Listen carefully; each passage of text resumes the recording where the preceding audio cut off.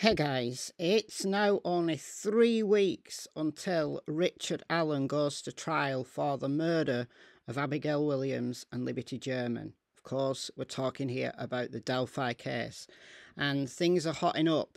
We've got two new court filings today. We've got the state's objection to defendant's motion to suppress that was filed on April the 11th. The defence wanting to suppress the confessions that Richard Allen made while in prison, while in Westville Correctional Facility. So the state has provided the defence with the statements of Richard Allen. These statements include phone calls made by Richard Allen to his wife and his mother, and statements that he made to Indiana Department of Corrections staff and inmates. The statements made to Indiana Department of Corrections staff and inmates referred to as Suicide companions consist of statements on door sheets. These door sheets are forms provided by the Indiana Department of Corrections for monitoring the behaviours and statements of Richard Allen at a frequency determined necessary by mental health personnel. The state has identified and provided the names of all suicide companions, which the state intends to call as witnesses for confessions and relevant statements against his own interest, which include 16 correctional officers, eight inmate companions, and the warden, mental health personnel, and Indiana State Police officers. So they're going to call every single one of them how long's this trial meant to be lasting? Isn't it scheduled for three weeks, including jury selection? Talks about the law and about the admissibility of a confession controlled by determining from the totality of circumstances whether the confession was made voluntarily and was not induced by violence, threats, or other improper influences that overcame the defendant's free will. So, the defence are arguing that he was so messed up he was in a psychotic haze or something, and therefore these statements weren't given of his own free will. The Fifth Amendment's privilege against self incrimination applies to the states through 14th Amendment when a defendant challenges the voluntariness of a statement under the United States Constitution, the state must prove by the preponderance of evidence that the statement was voluntarily given. So they're arguing these statements were voluntarily given. The self incrimination clause of the Fifth Amendment protects an accused only from being compelled to testify against himself and otherwise provide the state with evidence of a testimonial or communicative nature.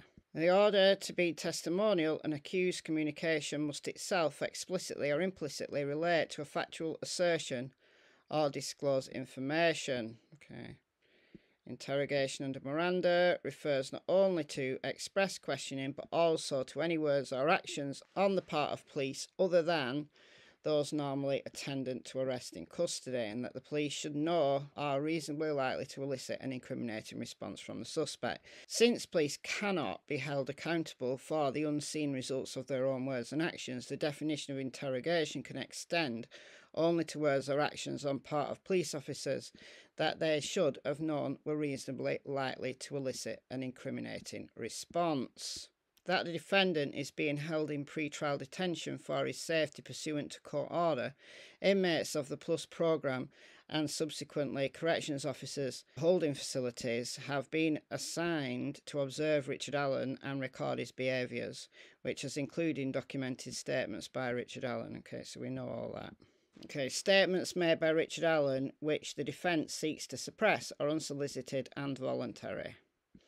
The defence has alleged that physical coercion by state actors has resulted in involuntary statements by Richard Allen that should be suppressed. The defence has also alleged that the psychological coercion by state actors has resulted in involuntary statements that the defendant has not alleged that any of these statements are a result of interrogation by law enforcement while in custody, and the state would assert that Richard Allen was not being interrogated by law enforcement or any agent of the state during his pre-trial detention regarding the charges pending hearing or regarding any other criminal activity. The defence is making a blanket argument that all statements by Richard Allen are the result of improper influences based on the defendant's mental state, without having to address each statement and its unique circumstances.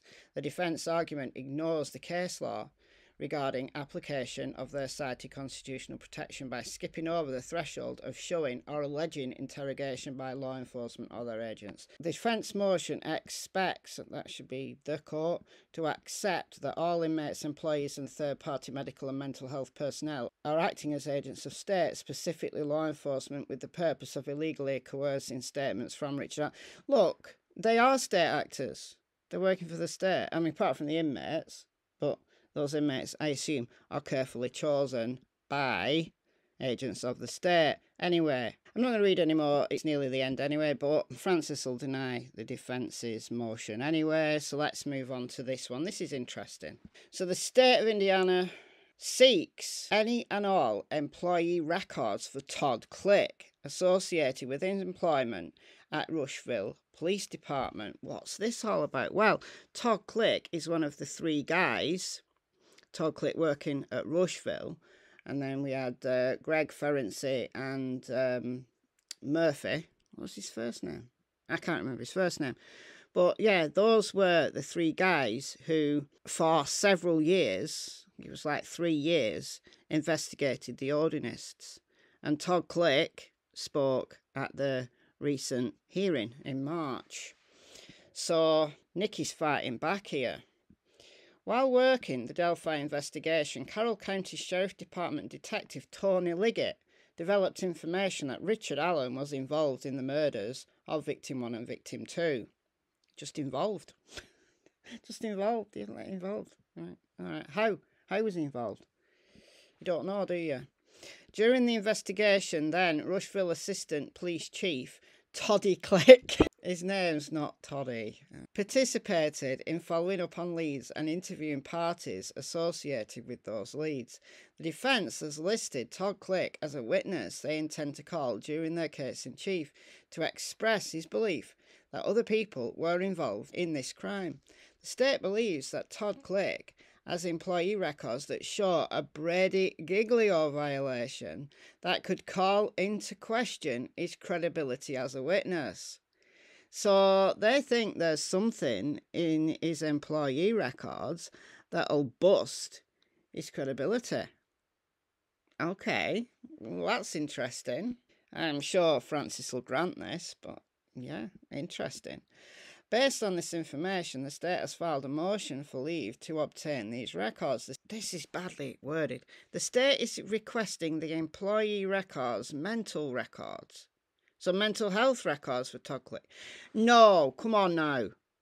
You can't ask for his mental health records. Surely not.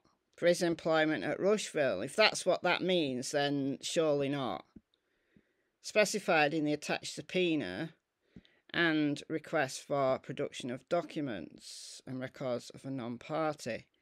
This request is made for the purposes of preparing for trial. The state believes that Todd Click will be a witness called by the defence to support their theory of the case. The state believes the employee records of Todd Click are relevant and would assist the state. All right, employee records are one thing, but if they want health records, then no, I don't think so. so. I'm just trying to see if there's anything in the rest of this. Any documents, records, notes, videos, and or writings that made up Todd Click's employment file. I mean, if he actually wrote in um, proper sentences, we might be able to understand this better. The state is requesting the employee records, mental records for Todd Click for his employment. But there's nothing in the attached subpoena about mental health records.